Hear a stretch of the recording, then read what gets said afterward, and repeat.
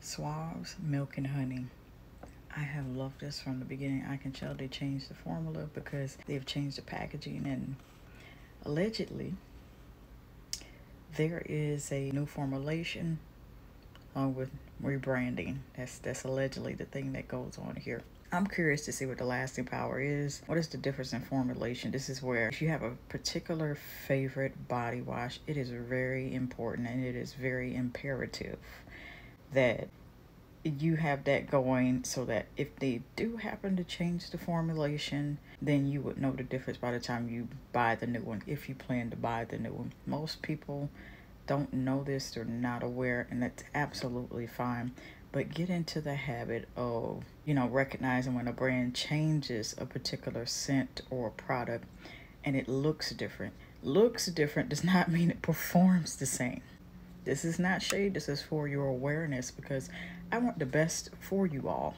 Now that being said i went through those changes with caress liquid gold sorry evenly gorgeous that has now been renamed to just the the scent notes alone shea butter and brown sugar. And so while it smells incoherently the same, while it smells pretty much the same, I can tell some things are different. I can tell that before it went to its latest change and before it went to its latest formulation, there had been a problem with the scent beads that were originally in it, you know, like the uh, red ones all throughout that gorgeous gold liquid body wash they got rid of the scent beads and had they had made a note on the packaging, not the current packaging, the packaging maybe one or two times before they have their latest formulation and rebranding that it is now.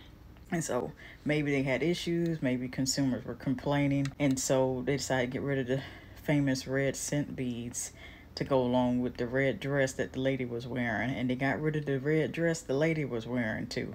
So I'm all I'm all for rebranding, but keep the originality of things. Now that I have to give kudos to Caress.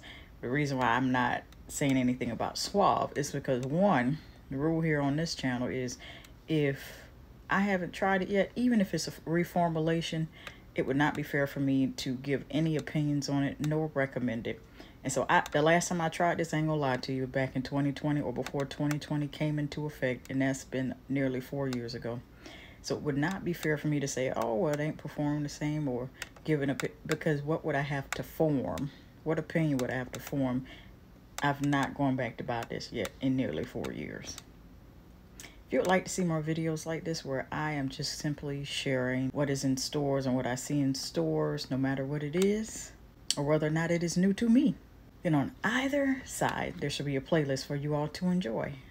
Until next time, love you. When I think about love, it's one of the bravest things that you can do.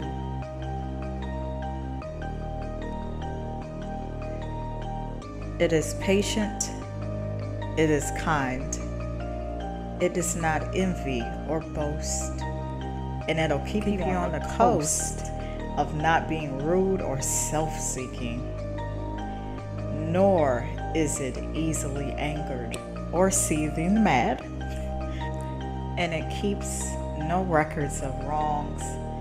It has no pleasure in evil, but it rejoices in the truth. And most of all,